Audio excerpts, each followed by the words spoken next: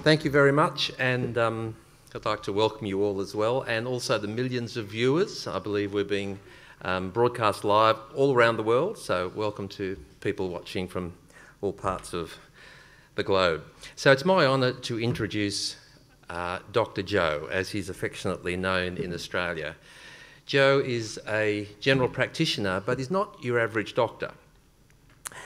Um, last week, when I rang Joe, he was deep in the Australian outback uh, doing health checks on Aboriginal children for a health program. Uh, he's a consultant to the health industry, he's an advisor for medical conferences, he's an advisor for a medical cannabis company. He was, a, was previously a senior member of the Australian Medical Association and much more. I could go on. But he has a special passion for communicating the mysteries of medicine to the general public. He has a regular radio and radio and television spots. He's written two books. He has a comprehensive website and blog which has everything you've ever needed to know about health. And I think his most important and most impressive achievement is he has 39,000 Twitter followers. So I only have a thousand. I need to get some advice on that. Um, but in between all this, he actually sees patients in his general practice, so he's a real doctor as well. In fact, he developed an interest in vaping from listening to his patients and hearing their stories. Um, those anecdotes that we told aren't really science, but of course, in clinical practice, we know that real people are quitting, and hearing those stories is very powerful. And Joe became an advocate for vaping. He joined the Australian Tobacco Harm Reduction Association uh, as a board member, and he's been campaigning ever since. Tobacco harm reduction has an increasingly strong evidence base, thanks to many of the people in this room. But the public is more confused than ever. And what we need more than anything is uh, a way to communicate the science to the public, to the media, to health professionals, and other policymakers.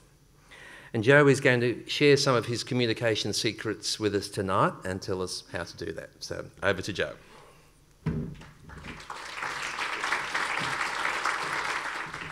Great, thanks very much, Colin. And uh, looks lovely to see so many people here this evening, and uh, yes, uh, beaming out around the around the world. So um, in all sorts of time zones. So hello to everybody um, out there. We're going to talk, and, and the, the topic I've broadened from the brief that I was given. So we're, we're looking at rethinking nicotine. It was originally the media and the medical profession, but it's beyond the media and the medical profession because it involves the politicians and the public. And if we're about trying to get change, then we really need to look at all of these aspects and how do we communicate with all these different, you know, with all these different groups. So that's what we're going to touch on and, and go through some ideas tonight. And um, in amongst all of that, and we'll stir the pot a little bit and um, it's likely not on everything I say. It's certainly not an expectation that everybody has to agree with it, um, but hopefully it gives you pause for, uh, for thought, and if you violently disagree with something I say, well, that's good too. I think it's, it's, it's worthwhile um, in, in giving a, an oration named after an individual just to sort of touch on, well, why does one give, you know, why does one name a talk after an individual person? What is the background? Now, I'm sure a lot of you in the room will be familiar with, with Michael Russell. Some of you may not be. But he was a man ahead of his time in that he, in the, in the 60s and 70s, concluded that nicotine was what drove people to smoke, but it wasn't the primary problem. So we had this sort of separation of nicotine and cigarette smoking. So you've got this one part that people do it because of the effects of, of nicotine. Again, rightly or wrongly, people have opinions on that. But that wasn't the part that was doing them harm. He was very, very good at designing trials. Um, and he understood harm reduction. Now, we're talking 40 something years ago when really the, the notions of harm reduction almost did not, you know, did not exist. And yet we find in 2018 that we're still having the same battles. So even though these ideas have been around for quite a long time and were pioneered by Michael Russell, you know, nearly you know, 40, even nearly 50 years later, uh, we still find that we're having to, to run these arguments and try and convince people that less harm is better than more harm, which you'd think would be a bit of a no-brainer. Um, but anyway, So, to that extent, I'm very uh, grateful to the organisers for, for inviting me to come and do this, this talk. Um, I do have to point out, and it's often when you do talks, you do disclaimers, and I do talks for the general public. Um, I always do point out that I'm not giving specific medical advice, and there's a bit of a legal disclaimer. So, I think it's important to say that not everybody thought it was a good idea that, that I gave this oration, and um, um a particular person with a Twitter handle, uh, Simon Chapman6, um, and you can see there on the tweet the Aussie tobacco control expert speaking at the next Global Forum on Nicotine. I'm struggling to find his expertise. Um, and I'm not standing here as a researcher or somebody who's published lots of papers. That's not what I do. Uh, as Colin said, I am a clinician and I've been in general practice for the best part of 30 years and um, fell into the media nearly 25 years ago. So I've had the best part of 25 years doing things in uh, writing columns, uh, being on radio, being on, on TV, and even last year made a, a very modest uh, movie debut. So that, that is my expertise. It's not in publishing papers, so no, you won't find me on PubMed. And Simon, if you're watching, hope you're having a nice day. Good idea to look in the right place. And every so often you do get a, a, surprise, you do a bit of a double take. And we flew, uh, my partner uh, Kathy and I, uh, from Perth on the west coast of Australia via Dubai to, to Warsaw. We arrived here yesterday. And um, Dubai Airport, I've not been to before. I mean, it's about the size of a country. It's a massive place.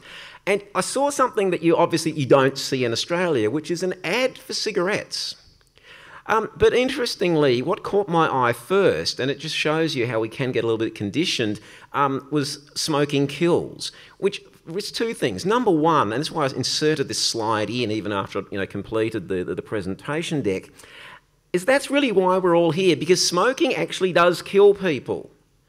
Something like two in, in three smokers are likely to die as a consequence of, of smoking, and smokers live shorter lives than non smokers.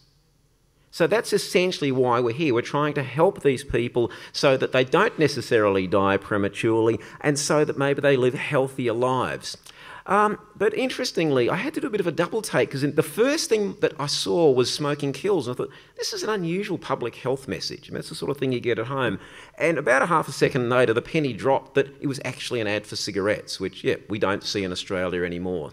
Um, quite pretty. Um, and there is a view that says that if I've seen an ad for, for, for cigarette smoking, that I will immediately take up a three packet a day habit. Um, by some miracle, that hasn't happened people often want to do more of the same, and we can learn from history. Now, I attended a talk some years ago by a futurist, and he spoke of a, a summit that was held in the late 1890s um, in New York because people were getting very concerned in those days about building uh, growing amounts of horse manure in the streets. You can imagine there's more horses and carts, and more horses leads to obviously more horse manure. And there was a three day summit held to try and solve the problem of horse manure in the cities. You know, was it going to be uh, having more you know people running around with uh, you know dust, maybe not dustpans and brooms, but you know more cleaning up? Um, was it going to be about changing the numbers of horses? There are all these sort of things which assumed that the answer was going to be something to do with, with horses and cleaning up manure. Now, after three days, the conference apparently ended, and there was no particular conclusion reached as to how they were going to solve this, this crisis. Within a decade, the solution had actually arrived in the invention of the motor car. But this conference was never going to solve the problem by thinking about it at the level. So the solution, I think Einstein said words along these lines, the solution is not going to come from the level of the problem. So, again, when we're talking about reducing harm from cigarettes, it's got to be a little bit more than just, you know, are we going to doing more of the same? Are we going to ban advertising? We're going to have plain packaging. We've got a whole lot of things that have been done around the world. But really, to solve the problem, we need to go above the level of the problem. And this is where the introduction of electronic nicotine delivery systems and alternate methods of delivering nicotine um, have not come from traditional tobacco control. It was invented by a, um, as I've learned today, a Chinese pharmacist who was trying to cure his own smoking addiction. So the solution doesn't come from the level of the problem. And there's over 100 years later, these principles still apply. But ideas are a dime a dozen. There's no shortage of ideas out there in the world. And if we want to affect change in the world, we do need to be communicating in a variety of different ways. And this is what I'm going to expand on in the, the next few slides. When we're involved in a space, and, and you know, all of you in this room are involved in this space and are interested in it, and we sort of live and breathe it, we, we sort of come to assume that you know, everybody else that we talk to must get it. I uh, bumped into a, a lady uh, uh, who I know I hadn't seen for, for a little while um, a couple of months ago in Perth, and I'd been on the radio that week talking about uh, about vaping on the back of a um, of a, a, column I'd written for one of the um, uh, online news sites. And um, I, was, I was chatting. She said, "Oh, Joe, how are you going? Yeah, nice to see you. I heard you on the radio this week. What's vaping?" Um, which you're allowed to laugh, it's okay. Um, which immediately said two things. And, and this lady's not intelligent, she works in the health field. She'd never heard of the concept. So, you know, very, very quick 30 second dissertation of what, you know, vaping was and, and explained the whole thing. And she sort of looked at me after, well, well, that makes a lot of sense. Why aren't we doing it? Which immediately says that if you can communicate a concept in a fairly simple way, and they sometimes talk about the elevator pitch. Uh, the elevator pitch being that if you had a business idea and you stepped into the lift with Richard Branson or somebody like that, and you basically had about one or two floors in which to get your idea across, so at the end of it, rather than him stepping out, he'd say, Look, come with me, I want to hear more about it and in a way that's simple to understand. So here we have vaping, it's 95% less harmful than cigarettes. It's the toxins that, that kill people, but the nicotine is relatively harmless. Um, it should be no more difficult to get the less harmful version than the more harmful version. Most people who know nothing about it, who come in uninitiated, are going to get it. Now, some people might want more information. That's fine, and that can be provided. There's all the research and there's all the evidence that's there. But for a lot of people, they're really just interested in the overall concept. And if it can be conveyed in a simple way, then a lot of people will get it. Um, and there's an adage in Australian politics that might be worldwide as well that says when you've been spruiking a message and trying to talk to people, that by the time you really can't almost stand to hear it one more time, is when everybody else is just starting to maybe think there's something going on there. So if you feel like you need to keep, you know, selling the, the, the message, then yes, we do.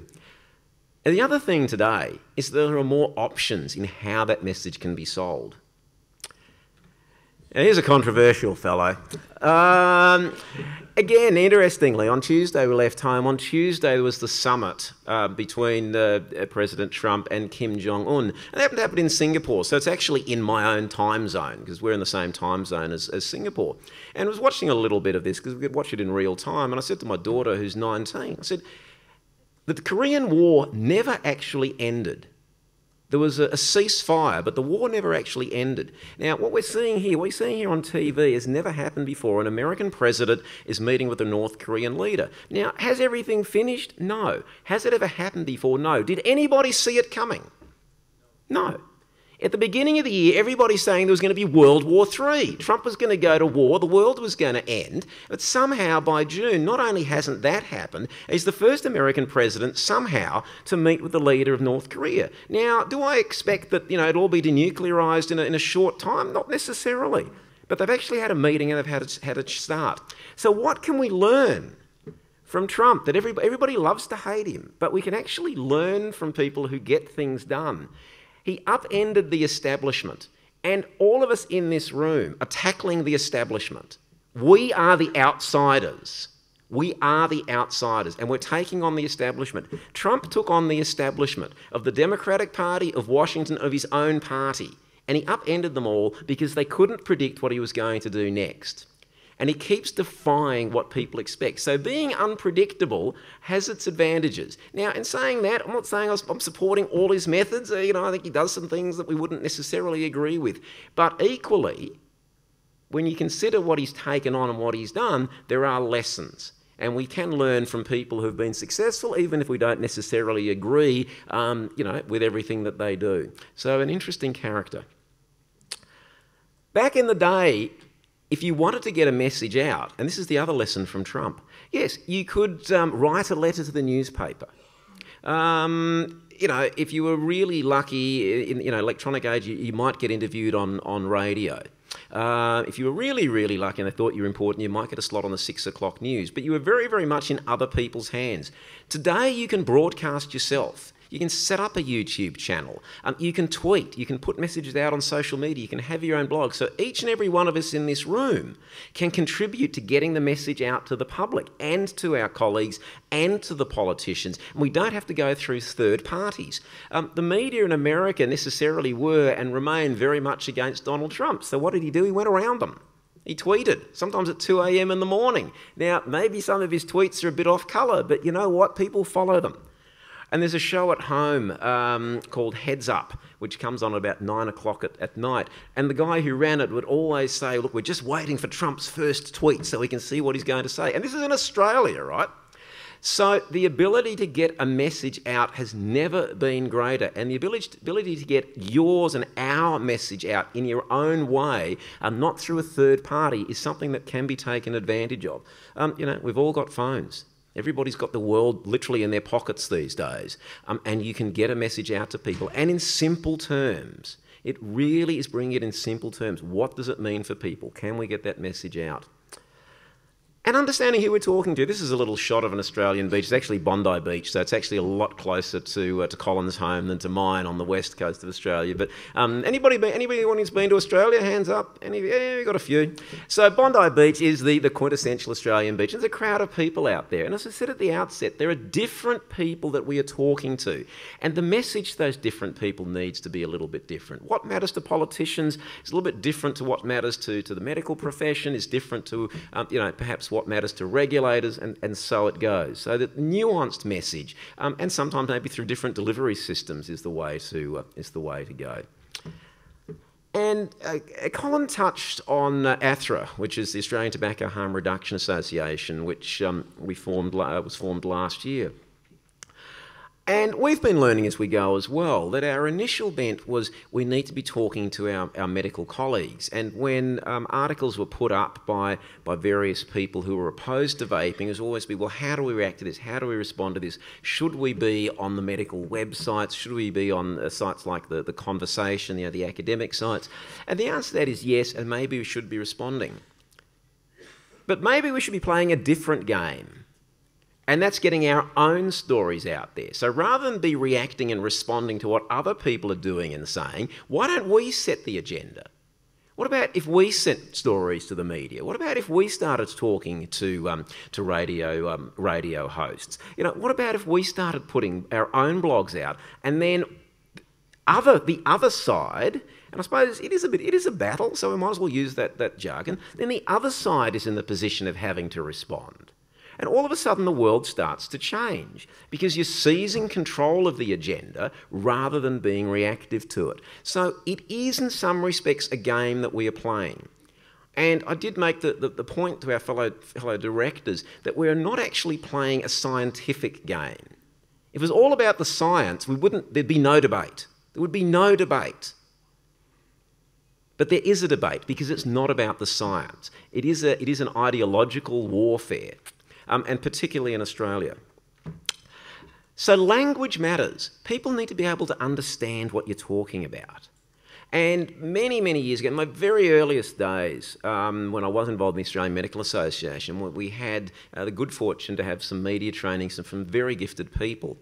And the point was made that a lot of the journalists just did not like interviewing doctors.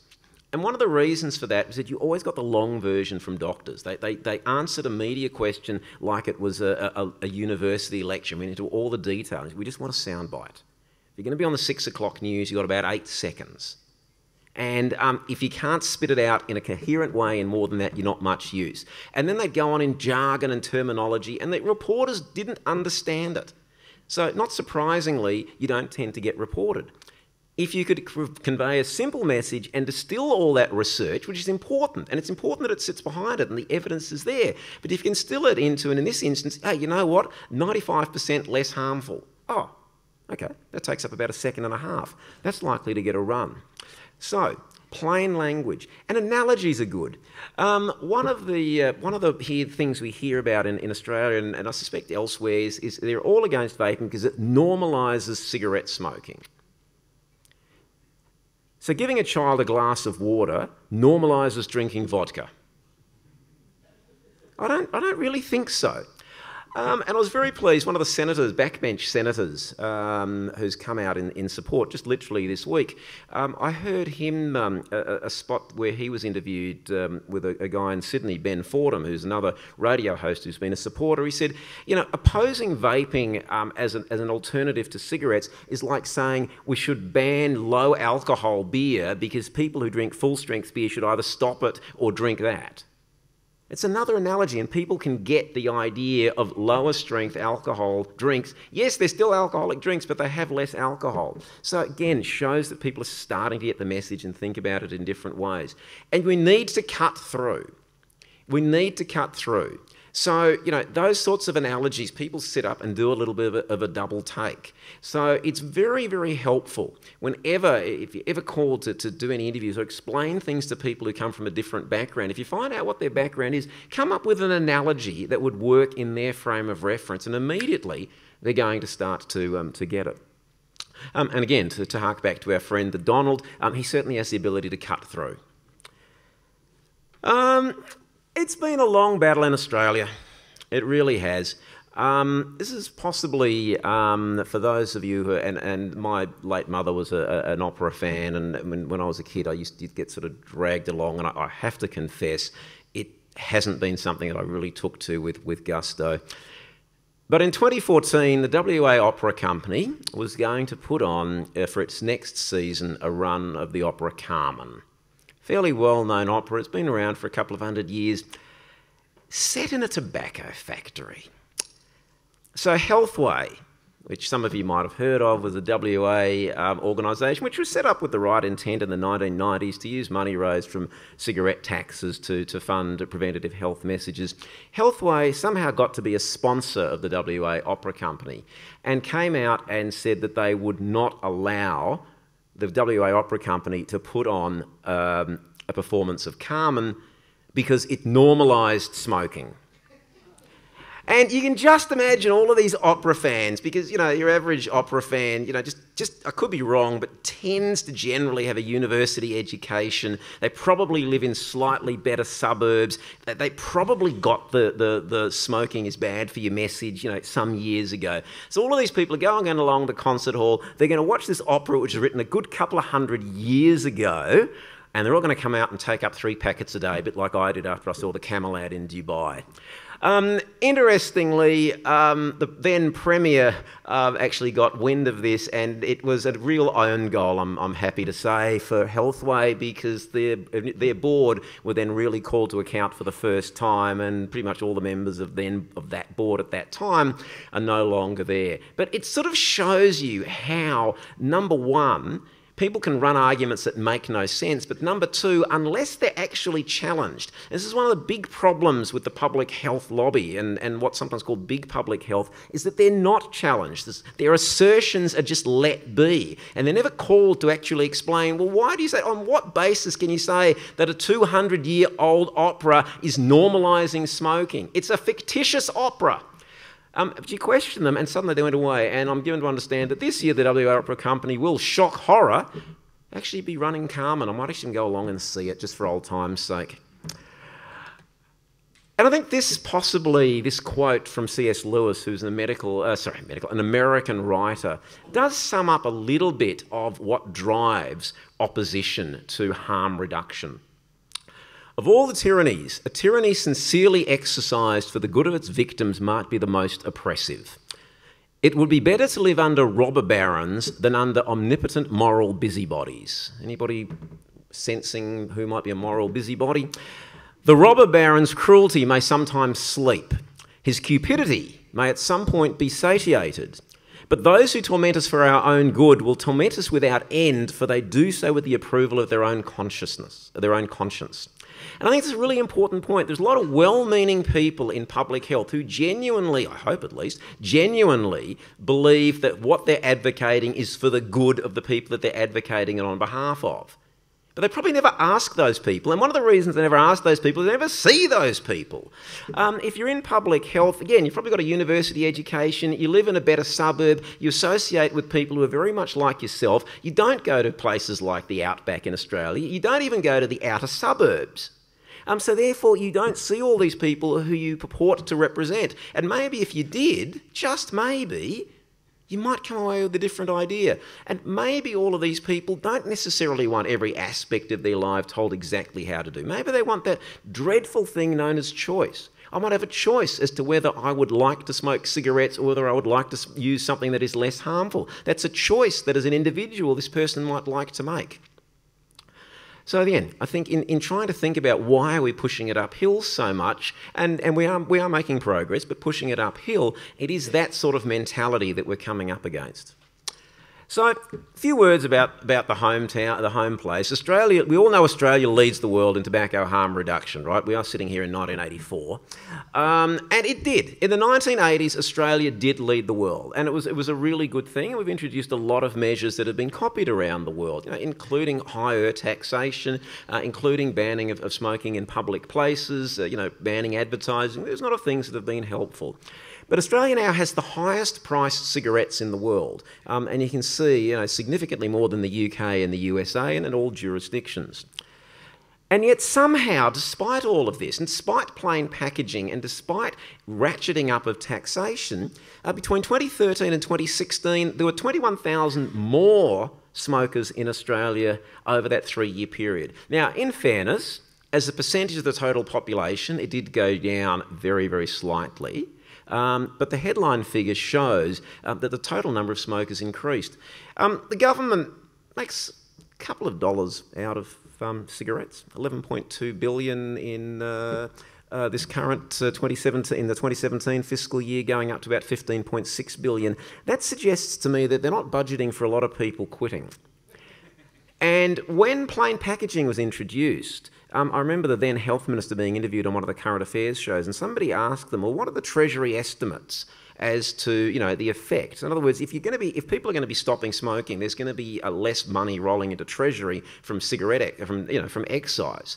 And the health minister wasn't able to answer that question. And when they got hold of the treasury estimates, it didn't show that there was any expectation that there would be less revenue coming in. So you know it's quite interesting. So it's not wrong, and certainly there's a strong case to be made for taxation of tobacco. But what we're seeing in Australia is that it's it's run as far as it's going to run. You can jack up the price another dollar and nobody's actually stopping.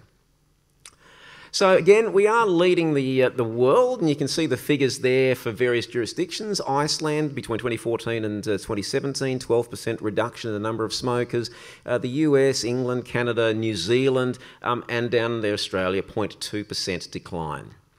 Um, but yet, unfortunately, all the powers that be seem to think that we continue to lead the world. We don't.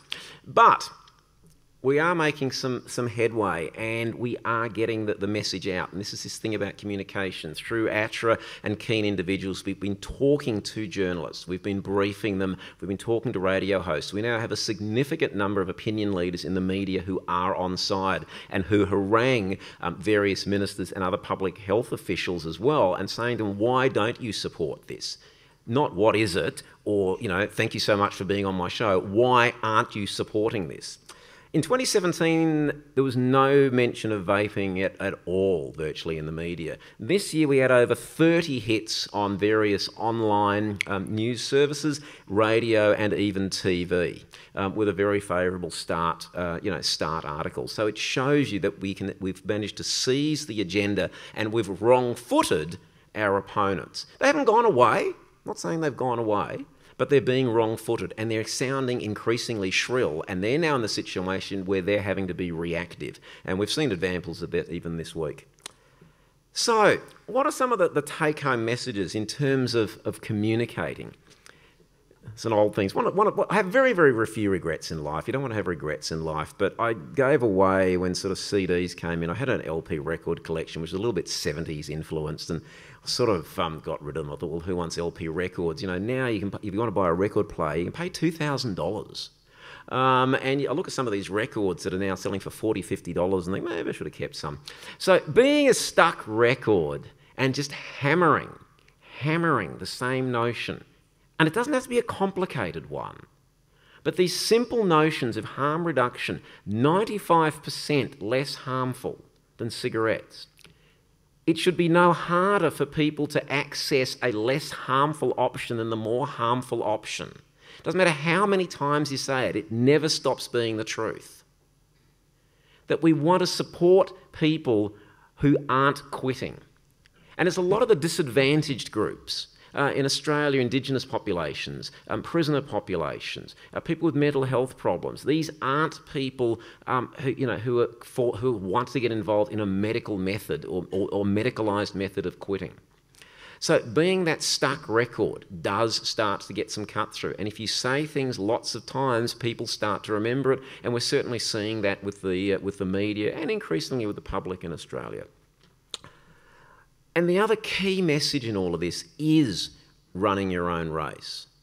So we started off being reactive and thinking, well, how can we counter the points that are being made, you know, by public health and being made by the establishment?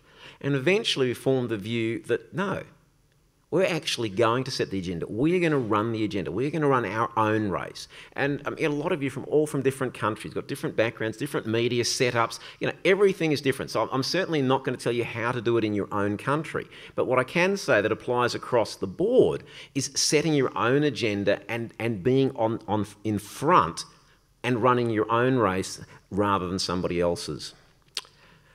And to, to, to look to, to wrap up, it also shows you how little things have changed over the years. And this is, this is a wonderful, wonderful quote. It ought to be remembered that there is nothing more difficult to take in hand, more perilous to conduct, or more uncertain in its success than to take the lead in the introduction of a new order of things. And this is a new order of things, what we are talking about with tobacco harm reduction. Because the innovator, and people in this room, we're all innovators has for his enemies all those who have done well under the old conditions, and lukewarm defenders in those who may do well under the new. This coolness arises partly from fear of opponents who have the laws on their side, and partly from the incredulity of men who do not readily believe in new things until they've had long experience of them. Thus, it happens that whenever those who are hostile to the, uh, have the opportunity to attack, they do it like partisans, whilst others defend lukewarmly in such wise that the prince is endangered along with them. Niccolo Machiavelli, 1513. That's 505 years ago. And if you think about it today, the establishment has the laws and government on its side. Big public health has the resources. Um, they will, they do fight, and they fight hard. So, this concept from 500 years ago, if you sometimes feel that it's, it's hard to be out there fighting against the establishment, um, we're not alone and we're not new. So, it's, these things remind us that we're going down a path that he's been worn before. But, and this is important, our time is coming. The empire did strike back. And it does strike back. And we see evidence of this every day. But who won in the end?